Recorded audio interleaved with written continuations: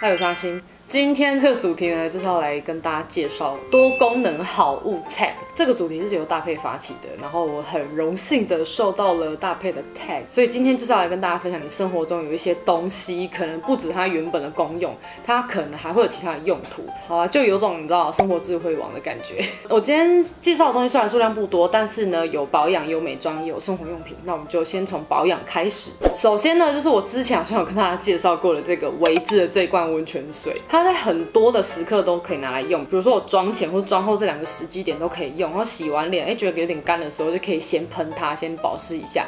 然后还有一个功用就是上次大家看到的那个打湿美妆蛋的部分，因为我自己没有很喜欢直接把那个蛋拿去沾水，比较喜欢喷雾上去这样。然后所以这一罐就是很适合拿来喷它。啊，接下来是化妆品了。首先是这个 Innisfree 蜜粉，除了把它拿来定妆之外，应该也有很多人跟我一样，就是会把它拿来帮刘海定妆。因为现现在夏天真的太热，你动不动你的那个刘海就会变成一个条码，所以你就真的会很需要就让它恢复原状。干洗法是可以，但是需要花比较多的时间把那个白白的东西弄掉。那蜜粉的话就可以比较快速。吸油面纸其实也可以，但是因为像我这样子，我会比较希望呃刘海保持一个蓬松度，所以吸油面纸如果要压的话，我就觉得 我刚刚卷那么久，所以我就还是会选择用蜜粉啦，就不会像条码一样。Oh my god，店员都可以这样逼你的刘刘海了。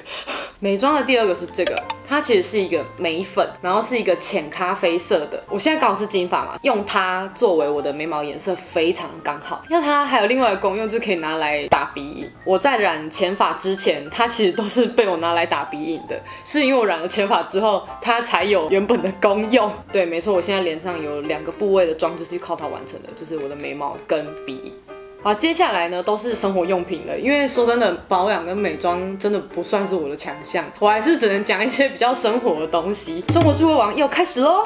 首先第一个呢是茶包，没错，如果有看 room tour 的人就会知道，我其中一个抽屉里面全部都是茶包，但是有时候你会忘记那个茶包到底有效期限到什么时候，然后不知不觉它就过期，完蛋了，暴殄天物，超浪费。但没有人，我跟你讲，茶包它有还有超级多的用首先呢，我最常拿来用的用途就是除臭，因为我的鞋子是放在一个储物柜里面的，所以它很容易里面就会有一个很闷很臭的味道，所以一定会需要东西去帮它除臭。然后它的第二个用途就是洗碗，因为有时候你的盘子啊、碗啊上面都会有一些比较难洗的污垢。如果用茶包去稍微泡它一下的话，接下来洗碗会容易许多。接下来这个东西的用途是我跟我妈学的，就是隐形眼镜盒。除了日抛以外的隐形眼镜，都是需要隐形眼镜盒去保存它的。它的另外一个用途，当旅行包使用。就比如说你有一些保养品，你不想要带一整罐出去啊，打开把它挤进去，就是一个随身包了。这边可能是洗发精，然后那边可能是保养品。重点是因为它是隐形眼镜盒，它本来就是那种不会让水流出来的那种装置，一体状的东西也不用担心它流出来。好，接下来是今天的最后一个，也是我非常喜欢的东西，就是黑人牙膏。哎，我拿反了，等一下，这样。我想它真的是超级万年好用的东西。首先，它拿来刷牙就是一个非常舒爽的，很凉嘛，你就觉得我真的好像真的有刷牙的 feel。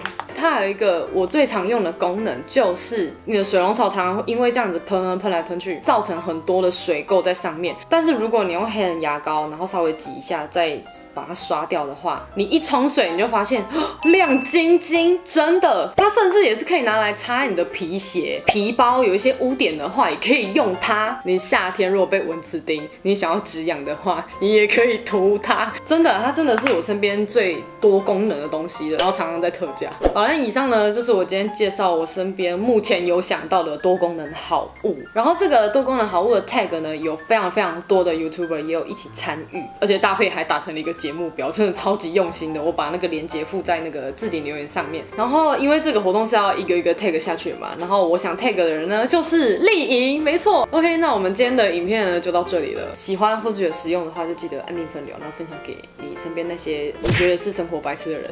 好，那我们就下个影片再见吧，拜拜。多功能好物的，不要吵啦！多功能好物的话，感觉应该，哎，不要吵。